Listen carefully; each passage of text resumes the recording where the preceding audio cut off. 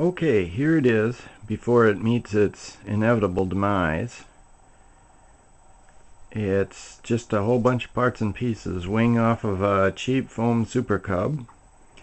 Painted in bright colors so it sticks out in the snow when I when I drop it in the snow somewhere. I think that's about an 800 kV motor.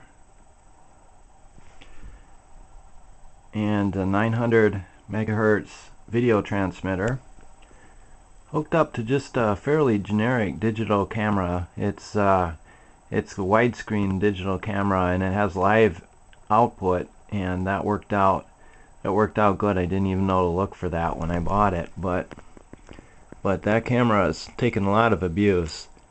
It's uh, it had bugs on it all summer from flying all summer and when it finally does die in a crash or something I got my money's worth out of it.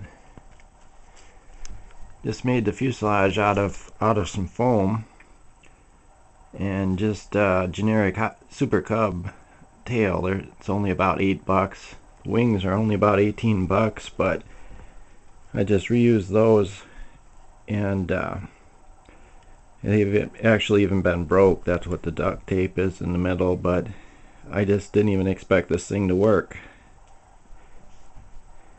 But here soon as I get time here this uh, over the Christmas break I'm gonna just fly this thing off into a field as far as it goes until it loses the signal and kind of figure out how far that is because I should be able to find it out in the field really easy. Once it goes down it can go down in the snow and not break.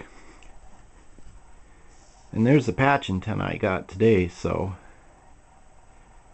that seems to go as far as I'm gonna want so we'll see how it works